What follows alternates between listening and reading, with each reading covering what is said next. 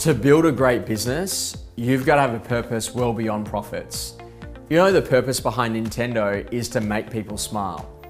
And if you have a look at Compass in America, an amazing real estate firm that's been built over the last four or five years, their purpose is about making sure they can help people to find their place in the world. And when you get really clear about your purpose, everything that you do stems from that. Inside of our business, it was to inspire estate agents to achieve their potential and to reach financial freedom. So everything we do is about helping people to achieve their potential. Everything we do is about helping people to get to financial freedom. And when you start thinking about that, then it makes it really clear about the path forward. So inside of your business, what's the purpose that you've actually got? What is the underlying thing that you fundamentally, you know, believe in that drives the entire company? What was the reason that you actually started your real estate business?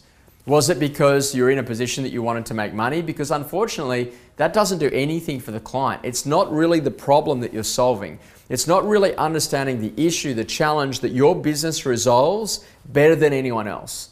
And when you get clear about that purpose, then it changes the entire way that you work. One of our clients have a purpose to be a business that facilitates the growth of people through property. And that means that the receptionist could one day become the head of sales, that all of a sudden the head of PM could move to becoming the CEO of the business. It could also mean that the tenant might actually become a landlord and the landlord becomes a buyer and the buyer becomes a seller. And that's ultimately about understanding that what you're going to do is to help people on that journey. That might mean that therefore you hold seminars for tenants about how to buy your first property. It might also mean you hold seminars and sessions for landlords about what to do in order to be able to grow their portfolio. And you might actually start to think completely different about problems that you'd never really thought about before.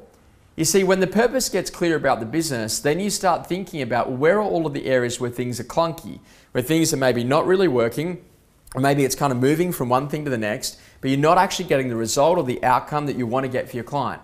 Now, if you get clear on the purpose, then you start thinking about how do I make it easier for people. Now, here's a great example of making it easy.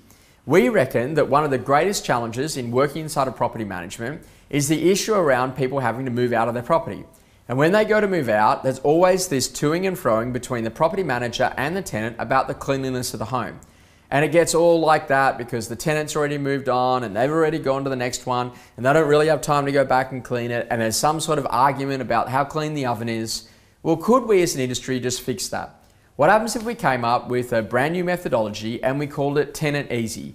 It's $4 a week, and for four bucks a week at the end of the tenancy, we send a cleaner through who cleans these particular items. You know, things like the oven and whatever, wherever the challenges are, so that we could actually make it really easy for the tenant.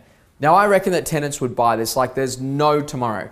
Because if they were in a position that they could just move out and everything was done for them post, then that would actually be a great experience. And when you go onto Google and you have a look at Google reviews and Facebook reviews, do you know the number one thing that happens? Tenants who are unsatisfied are the ones that are giving the reviews. So why don't you actually get ahead of the curve, change the entire way that we do it, fix the issue for the tenant, fix the issue for the property manager, keep us away from the tribunal, and actually turn these people that are negative into raving fans. That's what a great business does. It alleviates the pain points. We want to make property easy for people. If that was your purpose, then all of a sudden those types of activities that we've just identified there would actually allow you to completely change the game. So what's the purpose of your company? And then when you get that clear, allow it to be the driving force that not only separates you, but differentiates you from every other firm in the market. I really hope you've enjoyed this month's Growth Leadership and Management tip. I look forward to seeing you next month.